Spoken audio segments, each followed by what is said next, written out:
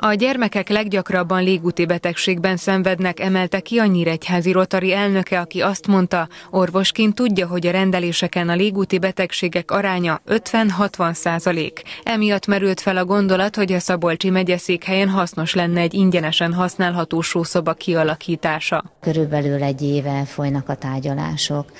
Akkor készítettünk egy előzetes kalkulációt, ez szerint másfél millió az a költség, amely szükséges a sószoba sóba, illetve a sóterápiás helyiség és környékének a kialakításához.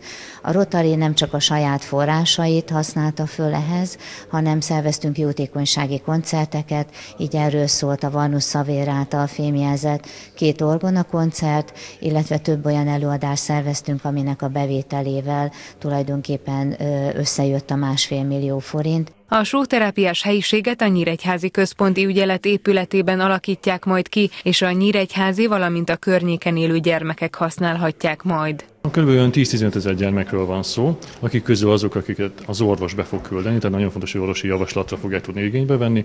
Ugye ez egy sószoba lesz, ami nyilvánvalóan egy légzési, légúti gyulladásokkal, vagy légúti fertőzésekkel kapcsolatos betegségek, vagy megelőzések kapcsán fogják tudni igénybe venni, ahol lesz fényterápiás, tehát otthoni körülményeket próbálunk a gyermekeknek igénybe venni, és nagyon fontos, hogy a gyermekek mellett a szülők, egy szülő is ott lehet majd a gyermekével, hogy a gyermek még jobban otthon érezhesse magát. A sajtótájékoztatón a megyei közgyűlés elnöke kiemelte, évek óta szoros együttműködésük van a Nyíregyházi szervezettel, így az Áramlat Tiszta Légzés című projektet is támogatja a megyei önkormányzat. Lassan tíz éve együttműködünk a Rotary Klubbal hasonló társadalmi fontos célok elérése érdekében.